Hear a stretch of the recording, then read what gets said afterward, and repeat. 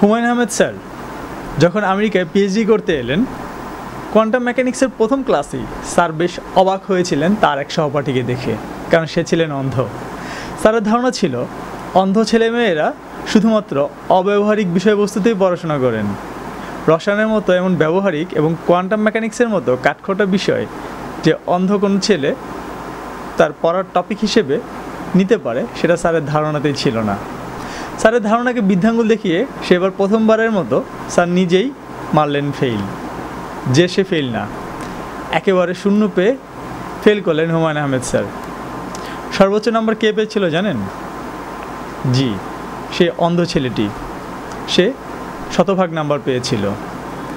পরের সেমিস্টারে প্রফেসর যখন স্যারকে নিষেধ করলেন কোয়ান্টাম মেকানিক্স নেওয়ার জন্য সেবার তার স্যারকে সবচেয়ে বেশি অনুপ্রেরণা জুগিয়েছিল সেই অন্ধ ছেলেটি। স্যারের যুক্তি ছিল, যদি কেউ শুধুমাত্র কানে শুনেই সর্বোচ্চ নাম্বার পেতে পারে, তাহলে আমি কেন কানে শুনে চোখে দেখে পাশ করতে পারব না?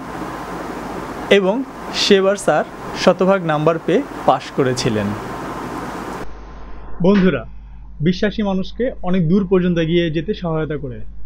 বিশ্বাসের কারণে মানুষ পৌঁছাতে পারে তার কাঙ্ক্ষিত লক্ষ্যে।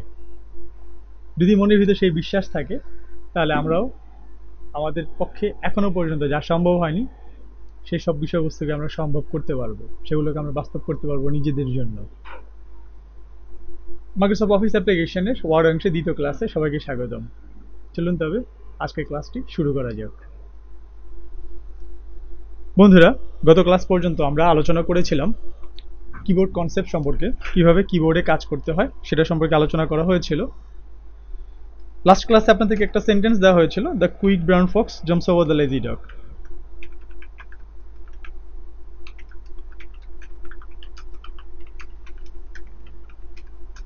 আমি আশা করছি যে সবাই ঠিকঠাক মতো প্র্যাকটিস করেছেন। এবং একদিন যদি আপনি অন্তত পঞ্চাশ বার প্র্যাকটিস করে থাকেন, তাহলে আপনার ব্যাপারটা আয়ত্তে আসার কথা। যে কিবোর্ডে কোন বাটন কোথায় রয়েছে, সেটা কিন্তু এখন আপনি না দেখে কম্পোজ করতে পারছেন। যদি এক্ষেত্রে একটু প্রবলেম থেকে থাকে কারও তাহলে আমি রিকোয়েস্ট করব, পুনরায় একটু ধৈর্যের সাথে প্র্যাকটিস করুন, এক দেড় ঘণ্টা, দুই ঘণ্টা, তাহলে দেখবেন পুরো কিবোর্ডটা হাতে চলে আসবে। তখন আপনি না দেখেও কম্পোজ করতে পারবেন। আজকে থেকে না দেখে কম্পোজ করার চেষ্টা করবেন। যদি দেখতে হয় বা বাটন খুঁজে না পান, সেক্ষেত্রে কিবোর্ডের দিকে তাকাবেন বাট প্রেস করার সময়তে আপনার চোখ থাকবে স্ক্রিনের দিকে। সেক্ষেত্রে আপনি খুব দ্রুতই আয়ত্তে আনতে পারবেন। মুখস্থ করার কোনো প্রয়োজন নেই, এটা এমনিতেই মুখস্থ হয়ে যাবে। লাস্ট ক্লাসে আমরা যে সেন্টেন্সটা দিয়েছিলাম, আজকে এই সেন্টেন্সের সাথে বা মাইক্রোসফট ওয়ার্ডের ডকুমেন্টের যে কোনো টেক্সটের সাথে কোনো কাজ করতে চাইলে বা টেক্সটকে কোনো কমান্ড দিতে চাইলে সেক্ষেত্রে টেক্সটকে সিলেক্ট করতে হবে। টেক্সটকে দুইটা ওয়েতে সিলেক্ট করা যায়। এক, সবচেয়ে সহজ ওয়ে হচ্ছে আপনি মাউস দিয়ে ড্র্যাগ করে সিলেক্ট করতে পারেন। আবার কিবোর্ড দিয়ে একাধিক বাটনের কম্বিনেশনও সিলেক্ট করতে পারেন। যখন আপনি কিবোর্ডের একাধিক বাটনের কম্বিনেশনে কোনো কমান্ড দিয়ে থাকেন বা কোনো কাজ করে থাকেন, তখন সেটাকে বলা হয় শর্টকাট ওয়ার্ক আমি চাইলে এখন এটাকে মাউস দিয়ে সিলেক্ট করতে পারছি। মাউস দিয়ে যদি আমি সিলেক্ট করতে চাই, সেক্ষেত্রে যে অংশটুকু আমি সিলেক্ট করতে চাইব, সেটা শুরুতে অথবা শেষে আমার ইনসার্টিং পয়েন্টটাকে রাখতে হবে। ফর এক্সাম্পল এখানে দাগ থেকে টি থেকে জেড পর্যন্ত বা ফুল স্টপ পর্যন্ত আমি সিলেক্ট করতে চাই। সেক্ষেত্রে টিতে এখানে আমি ইনসার্টিং পয়েন্টটা রেখে নিলাম। এরপর ক্লিক করে মাউসটাকে আমি আমার যে কাঙ্ক্ষিত ফুল স্টপ পয়েন্টটা রয়েছে, সেই পর্যন্ত আমি কার্সারটাকে ড্র্যাগ করে নিয়ে যাব। ক্লিক করে সেই পর্যন্ত কার্সারটাকে টেনে নিয়ে ছেড়ে দেওয়ার যে কাজটা, এটাকে বলা হয় ড্র্যাগ করা। আমি এখানে ড্র্যাগ করে ছাড়লাম টোটাল অংশটুকু সিলেক্ট হয়ে গেল। এখন এই পর্যায়ে আমি যে লাইনটুকু সিলেক্ট করেছি, এই লাইনটুকুকে আমি কপি করতে চাই। মানে হচ্ছে এটার আমি আরও কিছু অনুলিপি তৈরি করতে চাই। তো এটা ফার্স্টেই আমাকে কপি করতে হবে অনুলিপি তৈরি করতে চাইলে। কপি করার জন্য আমরা শর্টকাট ইউজ করব। যদি আমি শর্টকাটের বেশি ব্যবহার শিখতে পারি বা বেশি ব্যবহার করতে পারি, সেক্ষেত্রে আমার কাজ অনেক দ্রুত আমি করতে পারব। আমার পারফরমেন্সটা অনেক ফাস্ট হবে। শর্টকাটের মাধ্যমে কপি করার জন্য আমাকে প্রেস করতে হবে কন্ট্রোল চাপ দিয়ে C control C CTRL C control C চাপার চাপলেই এটা আমার মেমোরিতে কপি হয়ে যাবে।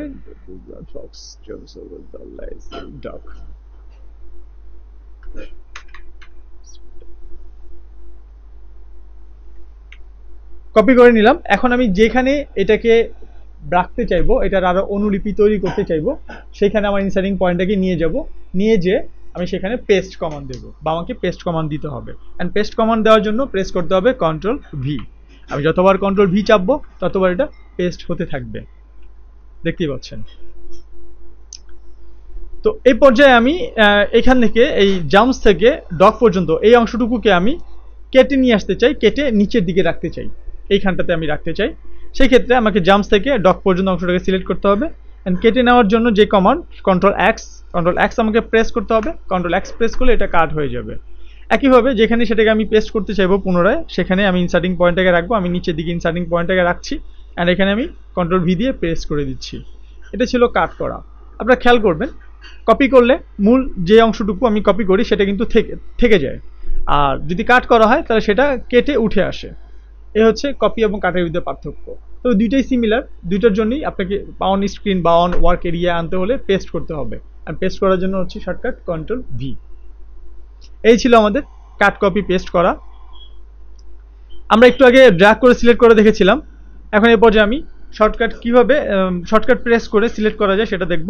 শিপ বাটন চাপ দিয়ে নেভিগেশন অ্যারো থেকে আমরা সিলেক্ট করতে পারি। নেভিগেশন অ্যারো দিকে যদি আমরা তাকাই, তাহলে দেখব লেফট রাইট টপ এবং বটম সাইনগুলো দেওয়া রয়েছে অ্যারোজের সেক্ষেত্রে আমি যদি সেই ক্ষেত্রে আমি যদি এটাকে রাইটে সিলেক্ট করতে চাই, তাহলে শিপ চাপ দিয়ে রাইট অ্যারো দেবো, তাহলে রাইটে সিলেক্ট হতে থাকবে। আর যদি টপ বা বটম চাপ দিই, সেক্ষেত্রে পুরো এক লাইন একসাথে সিলেক্ট হতে থাকবে। I mean up and down যদি আমি প্রেস করি, সেক্ষেত্রে ওপরে এবং নিচের দিকে সিলেক্ট হতে থাকবে। এই ছিল কাট কপি পেস্ট করা। যখন আমরা ডকুমেন্ট ওপেন করি ওপেন করার পরে ডকুমেন্টের যখন লিখতে শুরু করি, তখন টেক্সটের একটা পজিশন থাকে পেজের ভিতরে।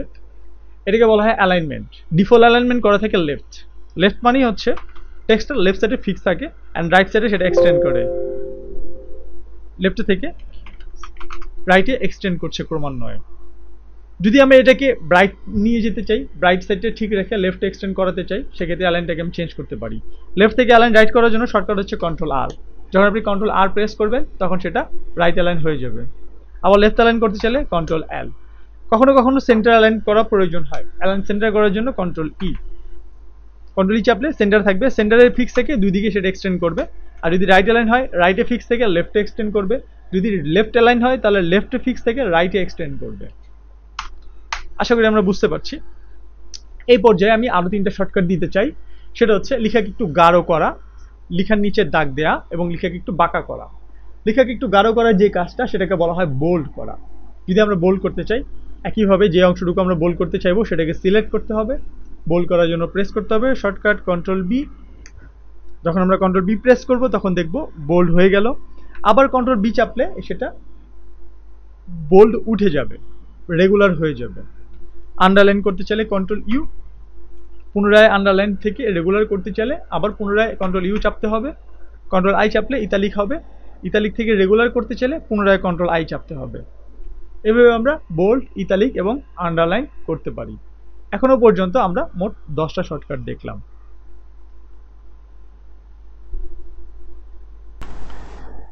বন্ধুরা, এ পর্যায়ে আমরা আরও কিছু শর্টকাট দেখব। এ পর্যায়ে আমরা তিনটা কাজ দেখতে চাই। সেটা হচ্ছে find replace and go to find কোনো কিছু খুঁজতে চাইলে যে কাজটা করা হয় সেটাকে বলা হয় ফাইন্ড ফাইন্ড নামক একটা টুলস রয়েছে আমাদের এখানে। এরপর হচ্ছে রিপ্লেস কোনো একটা শব্দ যেখানে আমাদের ডকুমেন্টে রয়েছে সেটাকে আমরা প্রতিস্থাপন করে দিতে চাই অন্য কোনো শব্দের সাথে, সেটা আমাদের করতে হয় রিপ্লেস এরপর হচ্ছে কোনো নির্দিষ্ট অংশে যাওয়া, কোনো পেজ নাম্বার কোনো সেকশন বা কোনো নির্দিষ্ট কলামে যদি আমরা যেতে চাই শর্টকাটের মাধ্যমে, সেটা হচ্ছে গোটুর কাজ। যেমন ধরেন ডকুমেন্টে কন্ট্রোল অ্যাপ প্রেস করে আমি খুঁজতে চাই ফাইন্ড ফাইন্ডের মাধ্যমে কোনো কাঙ্ক্ষিত শব্দ। ফর এক্সাম্পল উজ্জ্বল নামক কোনো শব্দ রয়েছে কিনা সেটা আমি দেখতে চাই। U double Z A L enter দিচ্ছি।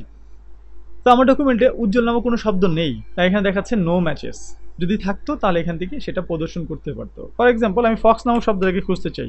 এন্টার দিচ্ছি। আমাকে দেখাচ্ছে result one out of ten মানে দশটা পাওয়া গেছে ফক্স এক নাম্বারটা দেখাচ্ছে। এভাবে নেক্সট বা এন্টার প্রেস করলে পরবর্তী যেখানে যেখানে সেই শব্দটা রয়েছে, সেটাকে আমার হাইলাইট করে দেখাবে। যদি এই শব্দটাকে আমি পরিবর্তন করে দিতে চাই অন্য কোনো শব্দের সাথে, সেটাকে বলা হয় প্রতিস্থাপন। অ্যান্ড প্রতিস্থাপন করার জন্য শর্টকাট হচ্ছে control H control H press করলে ডকুমেন্ট আমার কাছে জিজ্ঞেস করবে রিপ্লেস নামক অপশনের মাধ্যমে যে আমি কোন শব্দটাকে পরিবর্তন করতে চাই এবং কোন শব্দের সাথে পরিবর্তন করতে চাই। ফাইন্ড হোয়াট যে শব্দটা আমার ডকুমেন্টে রয়েছে, যেটাকে আমি খুঁজতে চাই এবং রিপ্লেস উইথ যে শব্দটা সেই শব্দের পরিবর্তে বসবে, সেই শব্দ আমি এখানে লিখব। যেমন ফক্স ফক্স রয়েছে, আমি সব ফক্সকে ক্যাট করে দিতে চাই। তাহলে ফাইন্ড হোয়াটের ঘরে লিখব ফক্স অ্যান্ড রিপ্লেস উইথের ঘরে লিখব ক্যাট রিপ্লেস অলে ক্লিক করলেই ইয়াস দশটা পরিবর্তন করেছে। দশ জায়গাতে ফক্স ছিল, সেটাকে ক্যাট করে দিয়েছে। দেখুন, এক নিমেষে সব ক্যাট হয়ে গেল।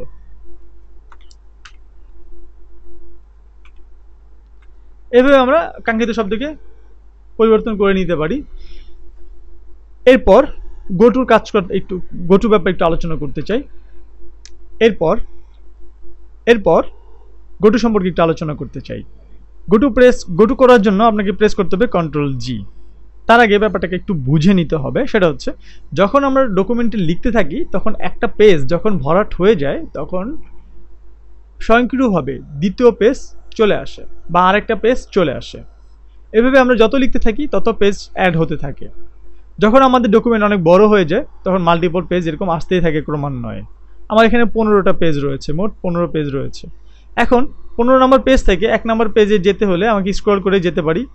এরকম করে স্ক্রল করাটা খুবই মুশকিল। যেমন আমি অনেকবার স্ক্রল করছি। এখান থেকে স্ক্রল বার থেকে স্ক্রল করা যায়, এটা হচ্ছে স্ক্রল বার স্ক্রল বার থেকে স্ক্রল করা যায়। সেটাও মুশকিল, যখন ডকুমেন্টের পেজের পরিমাণ অনেক বেশি হয়। ফর এক্সাম্পল এখানে যদি একশো পঞ্চাশটা পেজ হতো, সেক্ষেত্রে আমি এরকম করে যাওয়া তো সম্ভবই না। স্ক্রল বার দিয়ে গেলেও অনেকটা মুশকিল পোহাতে হয়। খুব সহজে যদি আমরা যেতে চাই, তাহলে আমরা গোটুর মাধ্যমে যেতে পারি। অ্যান্ড গোটুর মাধ্যমে যাওয়ার জন্য প্রেস করতে হবে control G control G press করলে আমার কাছে জিজ্ঞেস করবে, এখান থেকে আমি সেকশন পেজ লাইন আমার কাঙ্ক্ষিত যেটা, আমি সেটা চয়েস করে নিতে পারি। আমার এখানে ডিফল্টভাবে পেজ দেওয়া রয়েছে। আমি এন্টার পেজ নাম্বারের ঘরে লিখছি একশো পঞ্চাশ। এন্টার একশো পঞ্চাশ নাম্বার পেজ আসবে না, কারণ আমার ডকুমেন্টে একশো পঞ্চাশটা পেজ নেই, রয়েছে সর্বোচ্চ পনেরো নাম্বার পেজ এবং আমি এই মুহূর্তে পনেরো নাম্বার পেজে রয়েছি। মোট পেজ পনেরো, আমি রয়েছি পেজ নাম্বার পনেরোতে।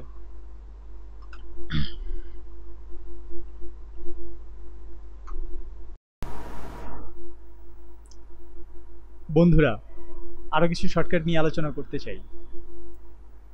তার আগে একটু গল্প করে দিই। এক লোকের একটি গাধা ছিল। একদিন সে সেই গাধাটি নিয়ে যাত্রা করল পাহাড়ি পথে। হঠাৎ করেই তার গাধাটি একটি বড় রকমের খাদে আটকা পড়ে গেল। লোকটি বহু চেষ্টা করল গাধাটিকে টেনে তোলার জন্য। কিন্তু কোনোভাবেই সে পারল না, ব্যর্থ হলো।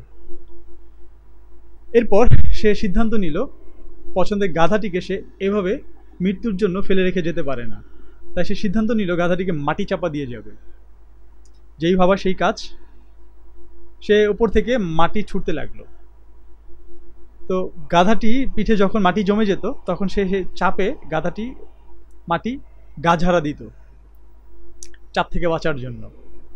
তো এইভাবে করতে করতে একটা সময়তে গাধাটির পায়ের নিচে বেশ মাটি জমা পড়ে গেল এবং ধীরে ধীরে গাধাটি ওপরে উঠে আসলো। তো এরকম আমাদের জীবনের সমস্যাগুলো। সমস্যাগুলো আমাদেরকে একদম চেপে ধরে। কিন্তু আমরা যদি সেই সমস্যাগুলোকে ঝেড়ে ফেলে দিতে পারি, তাহলে আমাদের সমস্যাগুলোকে আমরা কাজে লাগিয়ে উপরের দিকে উঠে যেতে পারব জীবনে। তো চাপটাকে ঝেড়ে ফেলে দিই, চলুন আরও কিছু শর্টকাট নিয়ে আলোচনা করি। এ পর্যায়ে আমরা আলোচনা করতে চাই অ্যালফাবেট ওয়াইজ এ থেকে জেড পর্যন্ত। প্রত্যেকটা লেটারে একটা করে শর্টকাট ওয়ার্ক দেওয়া রয়েছে। আমরা ডকুমেন্ট ওপেন করে নিচ্ছি। কন্ট্রোল এ প্রেস করছি। কন্ট্রোল এ যখন আমরা প্রেস করব, তখন ডকুমেন্টে টোটাল অংশটুকুই সিলেক্ট হয়ে যাবে। মানে অল সিলেক্ট অল সিলেক্ট করার জন্য আপনাকে প্রেস করতে হবে কন্ট্রোল এ কন্ট্রোল বি আমরা একটু আগেই দেখলাম। কন্ট্রোল বি প্রেস করলে বোল্ড হয়। যতটুকু অংশ সিলেক্টেড থাকবে টোটাল অংশটুকুই বোল্ড হয়ে যাবে।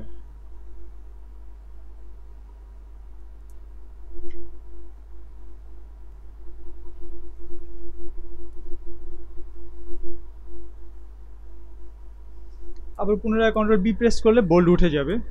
Control C copy control D control D press করলে ফন্টের ডায়ালগ বক্স আসবে।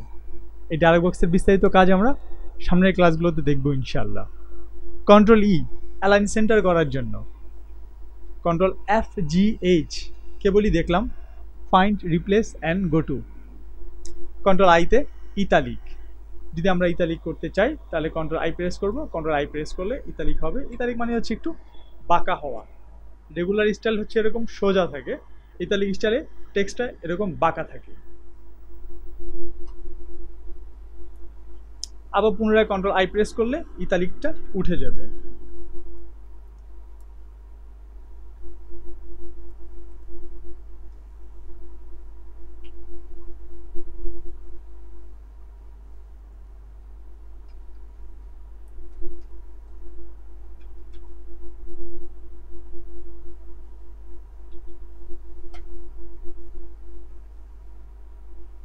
যখন আমরা কন্টিনিউয়াসলি লিখতে থাকি, তখন টেক্সট একটা লাইনের জায়গা যখন শেষ হয়ে যায়, লাইনটা যখন ইন্ডে পৌঁছে যায়, তখন সেটা নিচে লাইনে চলে আসে। এভাবে লিখতে থাকলে সেটা একটা প্যারার আকার ধারণ করে তো যখন আমরা কোনো প্যারা লিখব, তখন সেটা যেই অ্যালাইনমেন্ট থাকবে, আমরা যদি নোটিস করি, তাহলে দেখতে পাবো সেই অ্যালাইনমেন্ট অনুযায়ী সেই দিকটা ইকুয়াল রয়েছে। ফর এক্সাম্পল আমরা এখানে দেখতে পাচ্ছি left side equal but right side non equal যদি এটা রাইট অ্যালাইনে থাকতো কন্ট্রোল আর দিয়ে রাইট অ্যালাইন করে নিলাম। রাইট সাইডটা ইকুয়াল দেখতে পাচ্ছি বাট লেফট সাইডটা নন ইকুয়াল কিন্তু প্যারার ক্ষেত্রে যেটা প্রয়োজন, সেটা হচ্ছে বোথ সাইড ইকুয়াল হওয়া লাগে। তো বোথ সাইড যখন আমরা ইকুয়াল করতে চাইব, তখন সেখানে আমাদের ব্যবহার করতে হবে জাস্টিফিকেশন অ্যান্ড জাস্টিফিকেশন করার জন্য control J control J press করলে জাস্টিফাই হয়ে যাবে।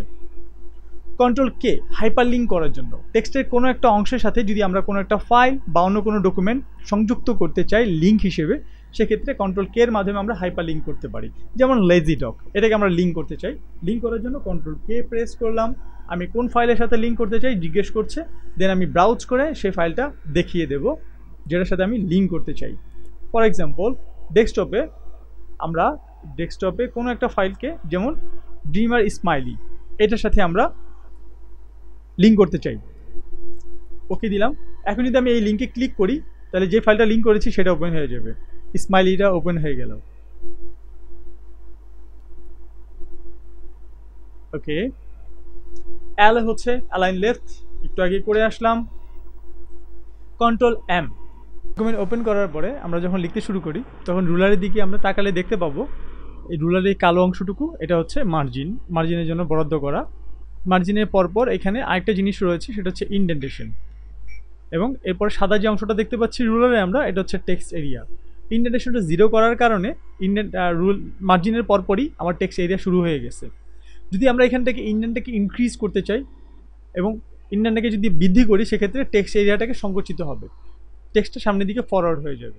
এই কাজটা করার জন্য আমাদের প্রেস করতে হবে control M control M press করলে ইন্ডেন্টটা ইনক্রিজ করবে এবং টেক্সটটা সামনের দিকে ধীরে ধীরে ফরওয়ার্ড হয়ে যাবে। যদি খুব বেশি ফরওয়ার্ড হয়ে যায়, সেক্ষেত্রে সেটাকে আবার রিসেট করা যাবে।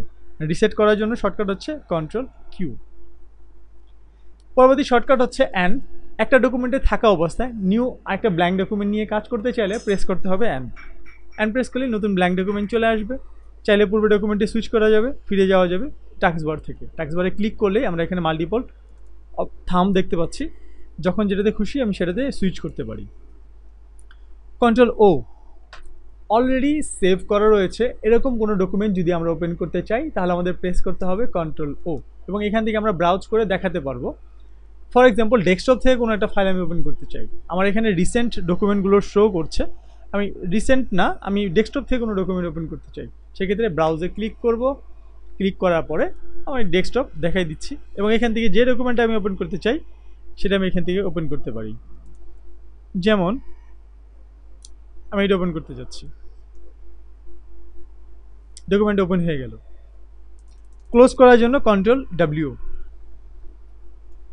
কন্ট্রোল পি হচ্ছে প্রিন্ট করার জন্য। প্রিন্টের এখানে কোনো ফিচার নেই। কন্ট্রোল পি দিয়ে ওকে বা প্রিন্টে ক্লিক করলে বা কন্ট্রোল পি দিয়ে এন্টার দিলে প্রিন্ট হয়ে যাবে। প্রিন্টের যা যাবতীয় কাজ হচ্ছে পেজ সেট এবং প্রিন্টারের পেজ সেট ক্লাসে আমরা পেজ সেট ডিটেলস দেখব। তো এখন আমরা জেনে রাখি কন্ট্রোল পি দিয়ে প্রিন্ট করা যায়। কন্ট্রোল পি দিয়ে এন্টার বাটন প্রেস করলেই প্রিন্ট হয়ে যাবে। যাই রয়েছে সেটিংসে সেই অনুযায়ী প্রিন্ট হয়ে যাবে।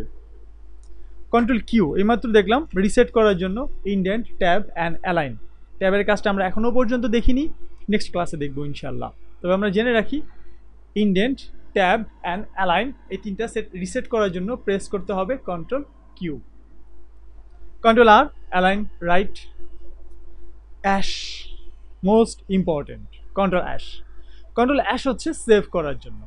ডকুমেন্ট সেভ করতে চাইলে প্রেস করতে হবে control S for the first time document আপনার কাছে জিজ্ঞেস করবে যে আপনি এটাকে কোথায় সেভ করতে চাচ্ছেন। এখান থেকে আপনার কাঙ্ক্ষিত লোকেশনটা দেখিয়ে দিবেন।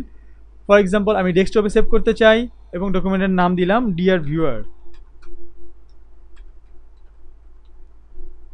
okay enter close করে দিলে আমরা দেখতে পাবো ডেস্কটপে আমার ডকুমেন্টটা ডিয়ার ভিউয়ার নামে সেভ হয়ে গেছে। কোথায় আমাকে খুঁজে বের করতে হচ্ছে? এই যে। কিছুক্ষণ পর পর আমাকে সেভ বাটন প্রেস করতে হবে কাজ করার পরে। নয়তো ডকুমেন্ট যদি আনএক্সপেক্টিংভাবে ক্লোজ হয়ে যায়, সেক্ষেত্রে আমি যা লিখেছি বা যে কাজটা করেছি, সেটা কিন্তু আর খুঁজে পাবো না।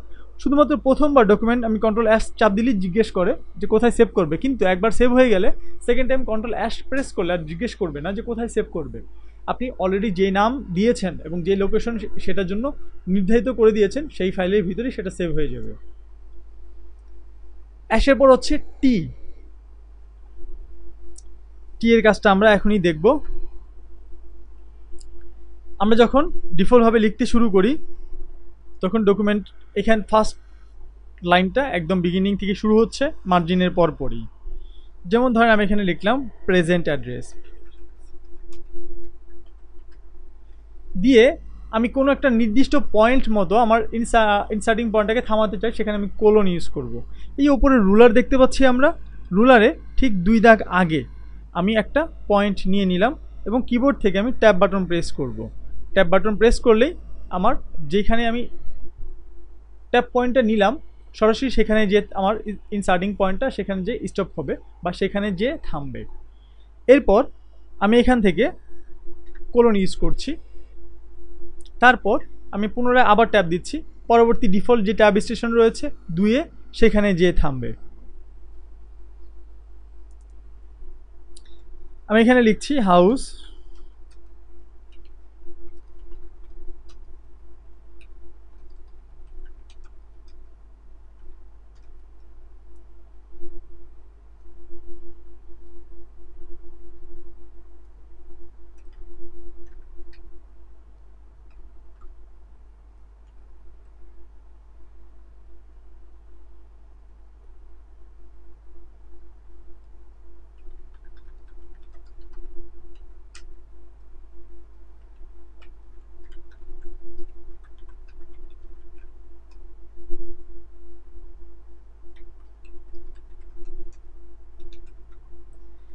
এই যে আমার এখানে যে আমি কামরাঙ্গি চোটটা লিখছি, এটা হচ্ছে আমার হ্যাঙ্গিং লাইন বা পরবর্তী লাইন ইন্ডেন্ট এখন নিয়ম অনুযায়ী আমার হ্যাঙ্গিং লাইনগুলো হওয়ার কথা ছিল হাউসের নিচ থেকে।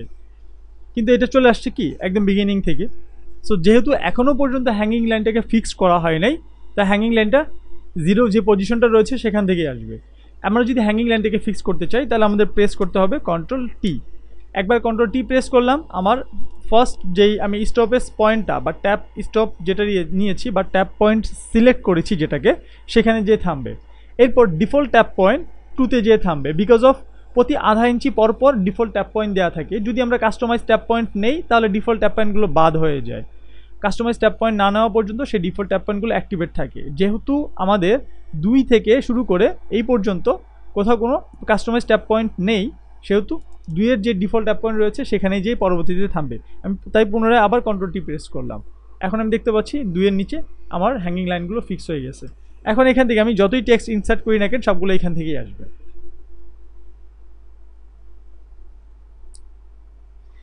এরপর হচ্ছে কন্ট্রোল ইউ ইউতে আন্ডারলাইন কন্ট্রোল ভিতে পেস্ট কন্ট্রোল ডাব্লিউতে ক্লোজ এটা একটু আগেই দেখলাম। কন্ট্রোল এক্সে কাট এখন মোস্ট ইম্পর্টেন্ট থিং আমাদের সামনে, সেটা হচ্ছে আন্ডু এবং রিডু করা। যেমন আমি এই কাজটা করলাম, এরপর এটা করলাম, এরপর এটা করলাম, এরপর এটা করলাম। সাডেনলি বাই মিস্টেক আমি কোথাও একটা ভুল বাটনের প্রেস করে কাজগুলোকে ডিস্ট্রয় করে ফেলেছি। সো আমি যে কাজটা করলাম, এই কাজ করা হচ্ছে ডু ডু হচ্ছে করা। আমি এটা রিভার্স যেতে চাই, ফেরত যেতে চাই, উল্টা যেতে চাই। তো আমাকে এটা আন্ডু করতে হবে। আর আন্ডু করার জন্য শর্টকাট হচ্ছে কন্ট্রোল ওয়াই দুঃখিত control Z control Z press করলেই আন্ডু হতে থাকবে। আর আন্ডু করার জন্য শর্টকাট হচ্ছে কন্ট্রোল জেড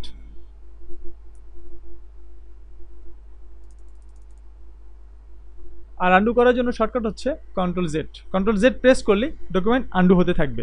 আপনি যতবার কন্ট্রোল জেড প্রেস করবেন, ততবার আন্ডু হতে থাকবে ক্রমান্বয়ে। যদি এমন হয় যে আন্ডু করতে করতে আপনি অনেক বেশি আন্ডু করে ফেলেছেন আপনি দুই তিন ঘণ্টা বসে একটা কাজ করলেন, সেই কাজটাকে আন্ডু করে কোনো একটা ভুল কাজ করে নষ্ট করে ফেলেছেন এবং আন্ডু করেছেন, এত বেশি আন্ডু করেছেন যে আপনি এখন মনে করছেন যে কোনো একটা সাডেন পয়েন্ট যেটা আপনি পেছনে রেখে আসছেন, সেখানে যেতে চান বা বেশি আন্ডু করার কারণে আপনি অনেক বেশি শুরুতে চলে আসছেন।